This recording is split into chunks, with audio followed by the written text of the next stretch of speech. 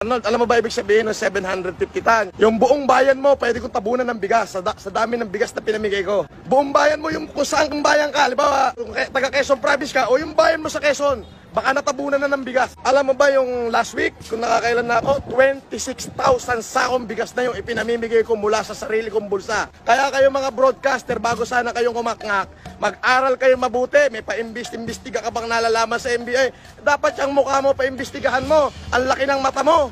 Di ba?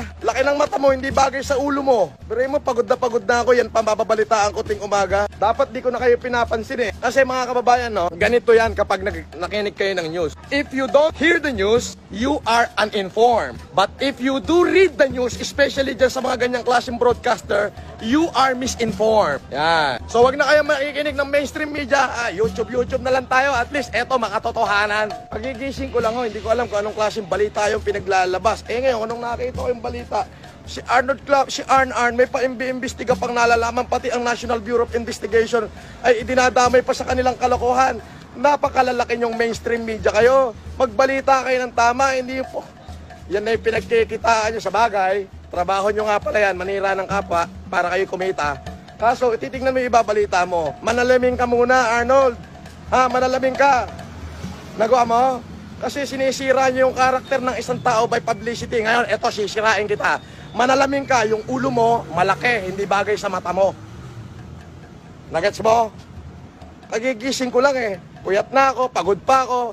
Halos buhay ko, ibinubuhos ko para makatulong tayo ngayong pandemic. Eto, tanong ko, ikaw, Arnold Clavio, anong tinulong mo ngayong pandemic? Tanungin kita.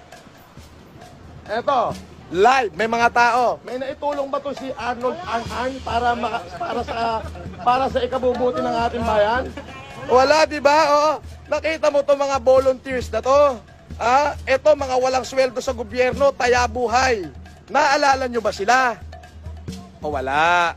Sabi ko nga mga kababayan, if you will listen to them, you are misinformed. But if you don't listen to them, you are uninformed. So better go to social media and uh, and watch it by yourself. Di ba? O ngayon, pagtutuunan kita ng pansin. Ate, ba- kagigising ko lang. Alam mo ba, Arn-Arn, kung anong oras ako natulog? Alas 5 ng madaling araw. Bakit?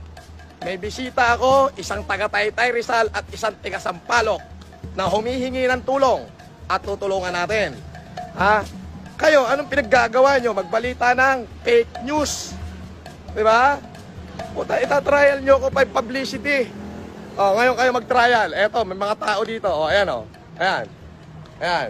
Yan mga maliliit na, na, na ating mga kasamahan na nandun sa talampakan ng lipunan. Naalala nyo ba sila ngayon may COVID?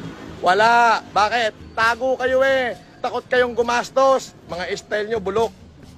Oh, meron pang isa, babae yung kasama ni Arn Arn.